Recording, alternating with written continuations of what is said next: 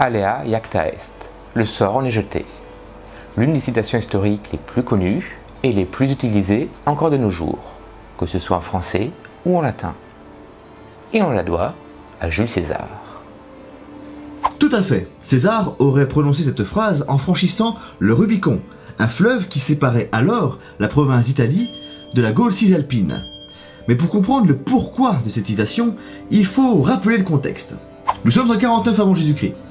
Voilà deux ans que César a conquis la Gaule, après sept ans de guerre.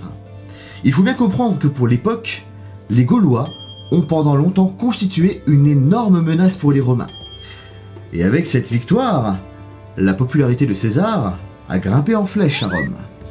Ce qui ne plaît pas à tous là-bas. Son ancien ami et à présent rival, Pompée, ainsi que de nombreux sénateurs, voient à présent César comme une menace. De ce fait, il déclare que toute personne qui franchirait le Rubicon à la tête d'une armée ou d'une simple troupe serait déclarée sacrilège et parricide. Bref, il serait considéré comme étant un ennemi de Rome. Mais César veut absolument rentrer à Rome.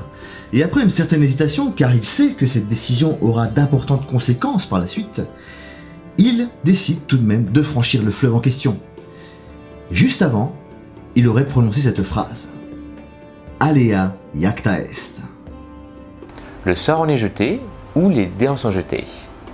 La tradition veut qu'on retienne plutôt la forme latine, alea iacta est.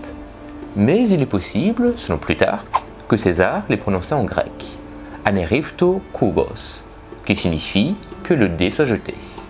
Quelle qu'en soit la langue, l'expression signifie qu'on se remet tout entier à la fortune, et qu'il n'y a plus aucun recul possible sur ce qu'on entreprend. Et effectivement, César ne pourra plus revenir en arrière. Lorsqu'il franchit le Rubicon, il provoque une guerre civile de 4 ans, qu'il gagnera et qui le mènera à la tête de Rome. Mais bon, ça, il va en profiter qu'une année, hein, à la tête de Rome. Le 15 mars 44, au fameux Ide de Mars, Jules César est assassiné par des sénateurs, dont le célèbre Brutus et son complice Cassius, sénateurs qui craignaient que le pouvoir de César ne devienne trop grand et ne renverse la République pour créer une nouvelle sorte de monarchie. Alea iacta.